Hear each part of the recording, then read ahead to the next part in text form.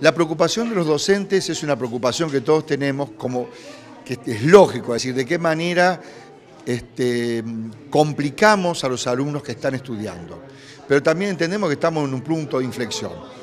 Hoy estamos todos unidos, damos un golpe fuerte o estamos perdidos. Eso también creo que es lo que más o menos en la Asamblea se vio y se, se traslucía la preocupación de los docentes, pero que no hay otra alternativa, nos están empujando a tener que tomar medidas muy contundentes para que verdaderamente nos hagan un poco de caso y, va, que nos hagan caso, nos escuchen y tomen alguna decisión interesante como para poder discutir.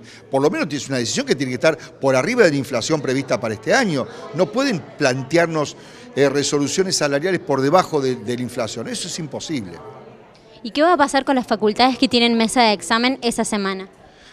Bueno, en ese sentido hay una resolución del Consejo Superior para resolverlo en forma administrativa cuando se ven involucrados mesas de exámenes. Eso ya tiene algún viso de resolución, algo que nosotros veníamos pidiendo y bueno, por suerte eh, el Consejo Superior le ha dado una, una resolución en ese sentido, o sea, eso se va a resolver por ese lado.